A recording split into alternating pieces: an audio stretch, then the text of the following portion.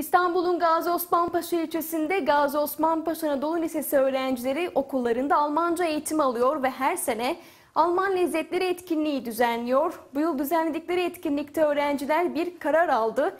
Etkinlikten elde edilen gelir Afrin'de Zeytin Dalı Harekatı'na katılan Mehmetçi'ye bağışlanacak.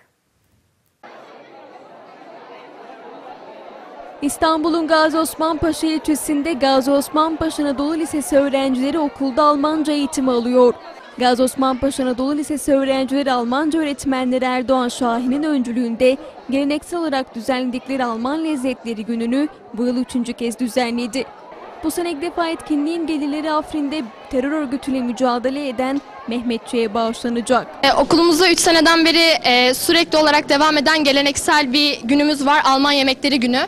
E, bu günü her sene düzenlediğimizde elde edilen parayı öğrenciler kendi harçlıkları yapmıyorlar.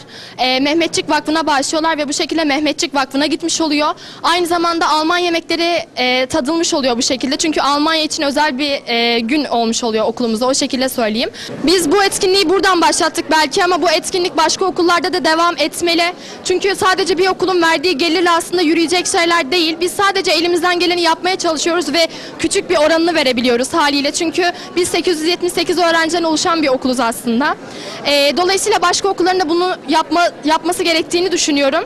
Ee, çünkü bu şekilde aslında bilinçleniriz ve ülke ancak bu şekilde kalkınabilir. Aynı zamanda Afrin'de Zeytin Dalı Harekatı'na katılan Mehmetçiklere hitaben mektup yazma kampanyası düzenlendi. Kampanya sonunda yüzlerce mektup Mehmetçiklere gönderildi. Daha önceden 3 yıldan beri bu program zaten e, düzen olarak yapılıyordu. Ancak bu sene arkadaşlarla istişare ettik. Ne yapabiliriz? Afrin'de mücadele eden Mehmetçiklerimize e, buradaki yapılan etkinliklerde bir hediye gönderelim istedik.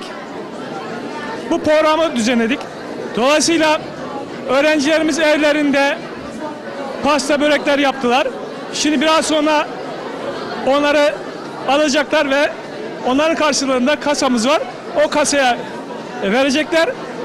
Bunların gelirlerini Mehmetçiklerimize e, bağışlayacağız. Afrin'de mücadele eden Mehmetçiklerimize e, birer mektup arkadaşları hazırladılar. Ben bu vesileyle bu programı düzenleyen özellikle Erdoğan hocama ve okul meclis başkanımıza ve öğrencilerimize çok teşekkür ediyorum.